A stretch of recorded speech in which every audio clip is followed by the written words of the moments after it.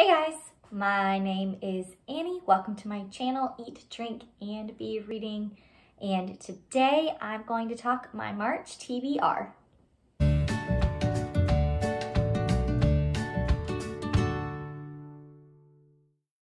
Well guys, it is March, and as many of you know, in the booktube world, this means it is middle grade March. This is put on every year for the past few years by Katie at Life Between Words and Krista at Books and Jams.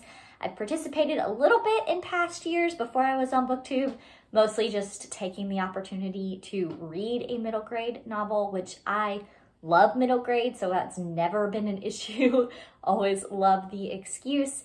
Um, this year I'm going to read a few more than I normally would. I'm not necessarily following the like uh, prompts that they give or the I don't know what the word is. Uh, anyway, I'm not necessarily trying to do all of the yeah, prompts, um, but although I think a few of these fit some of them, um, this is just a year where I'm reading what I want to read. And I think without, usually I like to push myself in my reading, um, but this year I don't know that that's the case, and that's okay. Um, giving myself lots of grace, especially with my reading, which I love so much, that it's something that brings me joy and makes me feel normal. And at a time in my life where normal matters, then that's what I'm going to do. So, um, we'll jump right in. Most of what I'm going to show is middle grade, but there's a couple others that I'm throwing in here as well. So let's go. Number one is The Vanderbeekers of 141st Street by Karina Yan Glaser. Um, I have heard such great things about the Vanderbeekers. I've wanted to read it for a while. I wasn't originally going to maybe pick this one up, but when my kids and I were in a bookstore, it was finally opened when my independent bookstore, uh, buying a birthday gift for one of their friends. And I was like, you know what? I'm going to pick up a middle grade while I'm in here and as soon as I started looking, my youngest had to go to the bathroom. I saw this one out in the front, just grabbed it and left because I wanted to pick up some middle grade while I was there. This is about um, some siblings, the Vanderbeekers. Uh, their home in Harlem, uh, their landlord is not renewing their lease and they really want him to. So it's about them trying to convince their landlord to, yeah, let them stay. Uh, it's supposed to be, here says, delightful and heartwarming. And I think that that's my understanding is that's what it is. That kind of sounds perfect. So, the Vanderbeekers. The second one I want to do this month is The War That Saved My Life by Kimberly Brubaker Bradley. I do technically own this book. I have a friend who was buying books from like Target online or something and they were having a buy two books, get one free deal. And since I am her reader friend, she asked me if there are any books that I wanted. And I said, The War That Saved My Life. And she was funny. She was like, is that, it says it's a child's book. I'm like, it's middle grade. And yes, it is for me. Um, but I haven't had a chance to go get it from her yet. But I will get it for March. Um, the War That Saved My Life is about Ada, who is 10, and her brother Jamie. They are in London in the middle of World War II. And as the they knew the bombings were going to happen, a lot of children were um, like sent out of London to try and save their lives. Um, Ada and Jamie being one of them. Actually, I think that maybe Jamie was the only one and Ada snuck out with him. Ugh, Ada has a twisted foot, is what the back of the book says. Um, clubbed foot, I think, and her mom has always treated her really terribly because of this. So she uses this as an opportunity to get away. They get placed with Susan, who does not want to have children placed with her. Um, and I think it's a story of found family, which I do really enjoy. I also love historical fiction, so I think this is going to be right up my alley. And I have only heard wonderful, amazing things. It's like a booktube darling, and so I'm really excited to get to it. All right, the third book is The Greenglass House by Kate Milford. I'm actually going to listen to this book on audio. Um, it is, I think, kind of like a mystery a little bit. It's about Milo, who's 12. He is the uh, innkeeper's adopted son. Greenglass House is an inn. Um, and around, I think around Christmas time, um, a bunch of guests, these odd guests, keep showing up to the house, and Milo discovers that it has something to do with the house itself.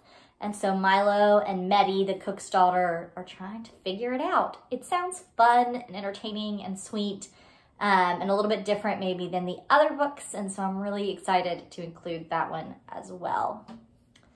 Last but not least is The Remarkable Journey of Coyote Sunrise by Dan Gemeinhart. Gemeinhart. Um, I may or may not get to this one, and I, it is possible that I pick this up and then I put it down. I've heard great things about it. It is the story of Coyote Sunrise and her dad, who have spent the last five years living on a school bus going across the nation. They started doing this after her mom and her sisters were killed in a car accident. Um, and Coyote has decided she wants to go back home and is trying to kind of like trick her dad into driving them back across the country to their home.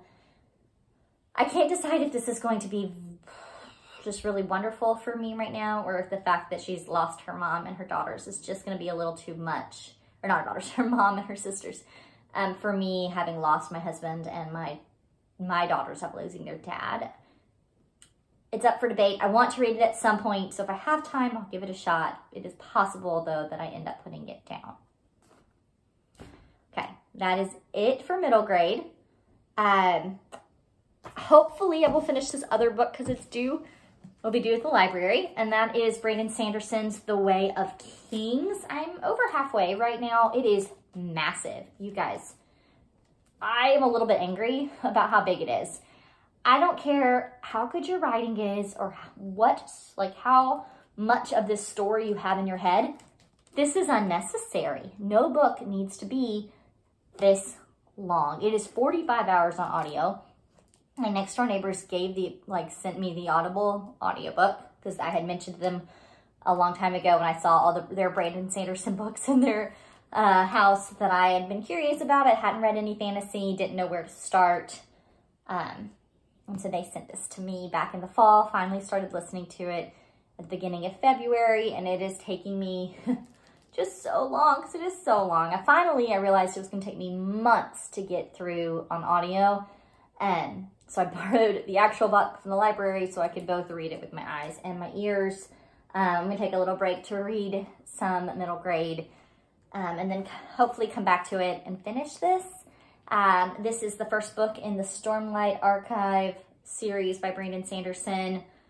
I, I don't even know how to describe it there's so many different storylines that I'm I know are all connected at some point, but they're just not there yet.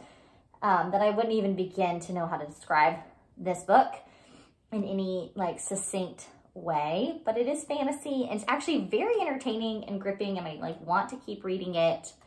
But I'm a little afraid I'm going to get to the end, want to read what happens next, because there's it's you know it's the first of I think four, and then just not have the energy to pick up another one because I could have read like two and a half decently long books in the time it has taken me to read this one. So Brandon Sanderson better show up big for the last 40%.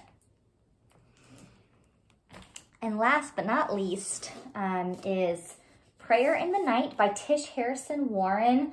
This is a Christian nonfiction. It is based around the nighttime prayer of Compline, which is, I think, like a Book of Common Prayer or prayer used in many liturgical traditions. I am not of a liturgical tradition, but I really appreciate them and like them a lot.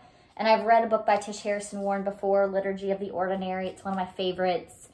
This is um, for those who work or watch or weep. Um, I've been reading like a chapter a night in um, different books that kind of discuss loss and grief and Jesus. And so this is the next one I'm going to pick up. Um, and I think I'm really going to appreciate it. Uh, Tish is just a beautiful writer. Um, she makes walking with Jesus very practical and tangible, and I really appreciate that. So that's it. Those are the books, you guys, mostly middle grade. Trying to finish this dang fantasy that's so long. And then um, something to remind me of Jesus in the midst of my grief. So that's it. What are you guys reading? Are you participating in middle grade March? Let me know in the comments below. Let's build community. Don't forget to like and subscribe, and we'll talk later. Bye, y'all.